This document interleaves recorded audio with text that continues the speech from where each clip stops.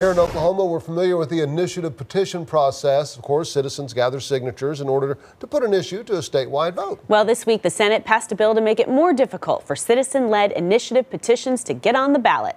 News 4's Bria Berry joins us now live at the state capitol with more on that. Good morning, Bria.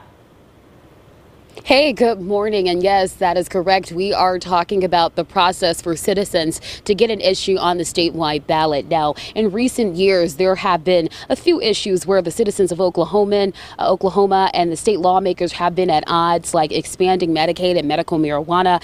And Senate Bill 518, if it passes, the measure adds more requirements for a citizen initiative petition to get on the ballot. 518 would increase the protest period to challenge the signatures on the ballot title. It would change to 20 days from the current 10 days. Uh, this measure would allow the Secretary of State's office to charge up to $750 to cover the cost of an initiative petition.